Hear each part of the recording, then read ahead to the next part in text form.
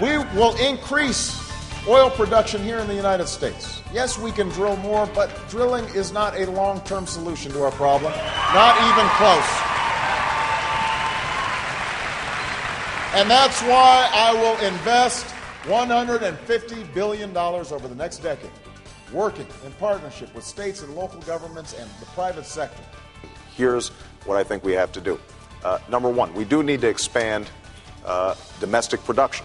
And that means, for example, telling the oil companies the 68 million acres that they currently have leased that they're not drilling, use them or lose them. And I think that we should look at offshore drilling and implement it in a way that allows us to get some additional oil.